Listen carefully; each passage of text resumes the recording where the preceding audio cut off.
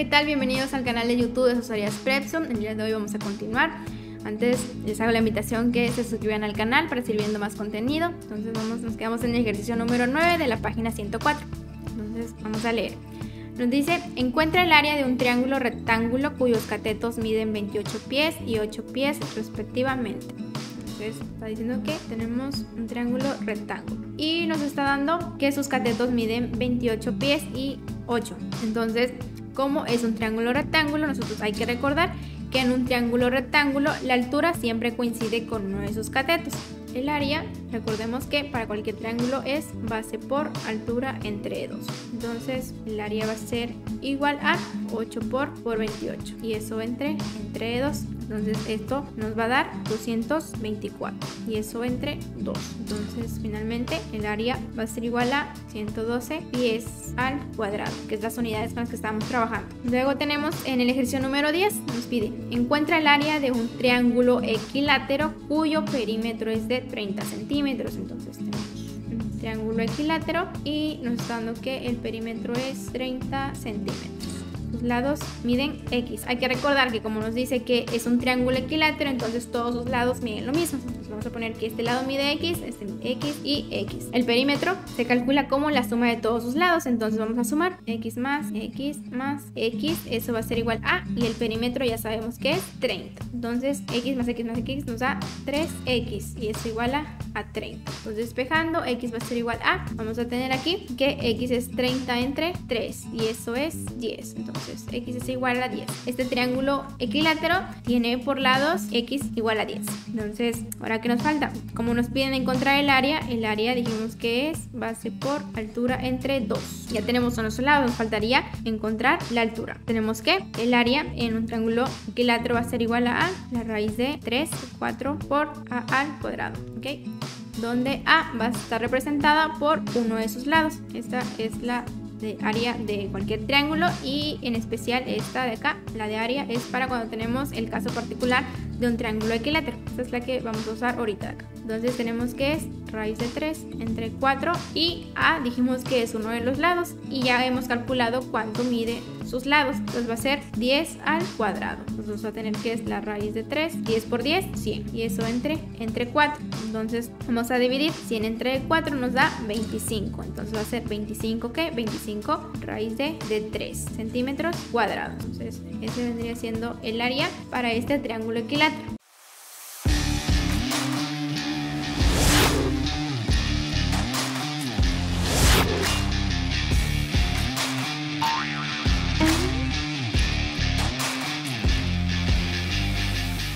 Ahora tenemos el ejercicio número 11. Nos pide encontrar el área de un triángulo equilátero cuya altura mide 6 pulgadas. Vamos a dibujar nuestro triángulo equilátero. Y nos dice que la altura mide 6 pulgadas y nos pide encontrar el área. El área es igual a base por altura entre 2. Únicamente, hasta ahorita sabemos que la altura es de 6. Necesitamos encontrar la medida de su base. Vamos a trazar aquí nuestra altura. Vamos a, a recordar que en un triángulo equilátero la altura va desde este vértice, forma un ángulo de 90 grados y pasa exactamente por el punto medio, o sea, coincide con uno de los lados que pasa, lo corta a la mitad. Entonces vamos a nombrar a nuestro triángulo equilátero. Tenemos que este lado mide L. Como es equilátero, todos deben medir lo mismo. Entonces este otro lado debe medir L. Y como dijimos que todo este lado completo debe medir L también. Pero vamos a tomar este de acá acá. Este lado de acá acá debe medir L entre 2. Porque dijimos que divide en 2 a nuestro lado. Entonces aquí también este otro lado debe medir también L medios. Y ahora vamos a usar el teorema de Pitágoras. Ya que observamos que se nos está formando dos triángulos rectángulos ahí dentro de este triángulo equilátero. Teorema de Pitágoras nos dice que si nosotros elevamos la hipotenusa al cuadrado va a ser igual a la suma al cuadrado de sus dos catetos. Entonces, en este caso que viene representando nuestra hipotenusa es L. Entonces va a ser L al cuadrado igual a la suma de sus catetos.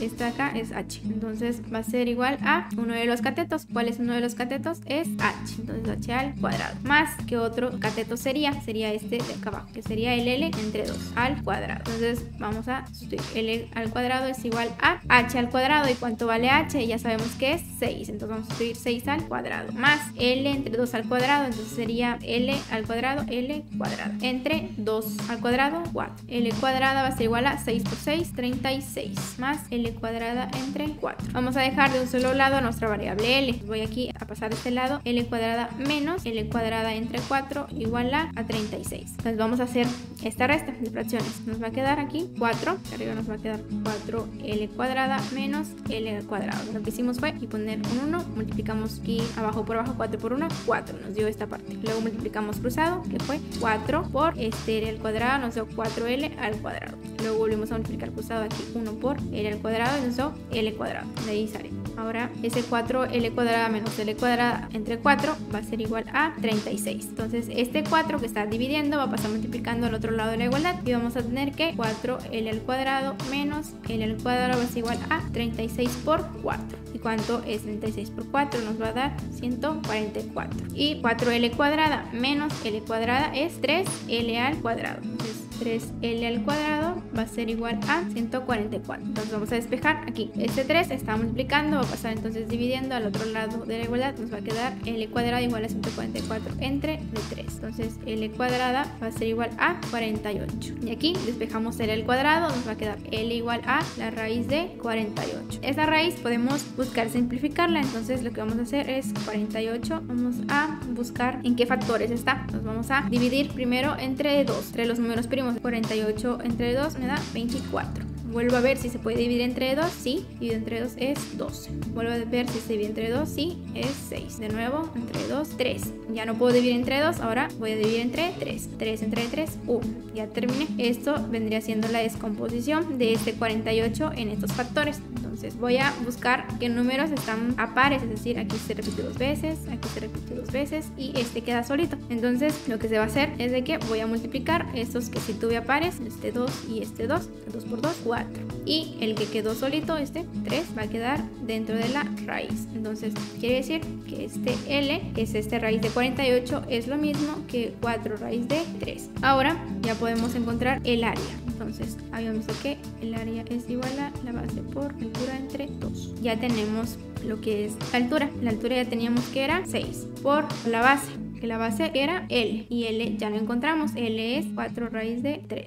Eso entre 2. Entonces va a quedar 6 por 4, 24 raíz de 3 y eso entre 2. Ahora vamos a dividir 24 entre 2 es 12. 12 que 12 raíz de 3. Entonces el área es 12 raíz de 3 pulgadas al cuadrado. Hasta ahí terminaríamos este problema. Nos vemos en el siguiente video. No olviden darle like y compartir. Gracias.